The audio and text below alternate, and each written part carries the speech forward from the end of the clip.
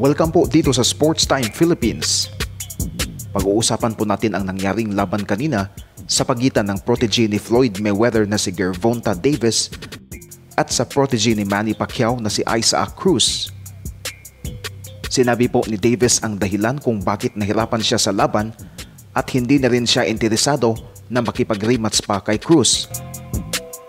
Ngunit bago ang lahat ay huwag niyo po sanang kalimutan na mag-subscribe sa ating channel para sa karagdagang sports updates. Ihahatid po namin sa inyo ang mga kwento at balita sa paborito ninyong sports tulad ng boxing at basketball. Sa laban po kanina na ginanap sa Los Angeles, California, nanaig pa rin ang WBA lightweight champion na si Gervonta Davis kontra sa matibay na challenger na si Isaac Cruz ng Mexico. Panalo si Davis via unanimous decision. Dalawang judges ang umiscore ng 115-113 at ang isa naman ay 116 to 112, lahat para kay Davis. Ipinakita ni Isaac Cruz kung bakit tinawag siyang pitbull. Hindi siya takot na atakihin si Davis.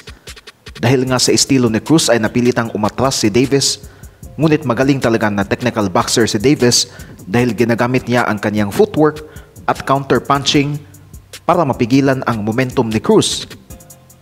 Sinubukan ni Davis na pabagsakin si Cruz gamit ang kanyang left uppercut. Ngunit matibay talaga ang Mexican Warrior at maraming beses rin niyang tinamaan si Davis. Dahil sa panalo ay nag-improve si Davis sa kanyang undefeated record na 26 wins at 24 knockouts. Si Isaac Cruz naman ay may 22 wins, dalawang talo at 15 knockouts. Sa CompuBox statistics ay lamang ng kaunti si Davis sa mga suntok na tumama. At maraming nagsasabi na ito talaga ang pinakamahirap na laban ni Gervonta Davis sa kanyang boxing career. Kahit pa na si Cruz ay isang replacement lamang sa original opponent na si Rolando Romero. Sa post-fight interview ay sinabi ni Davis na ayaw na niyang makipag-rematch pa kay Cruz. At sinabi rin ni Davis na nahirapan talaga siya sa laban dahil nasaktan yung kanyang kaliwang kamay.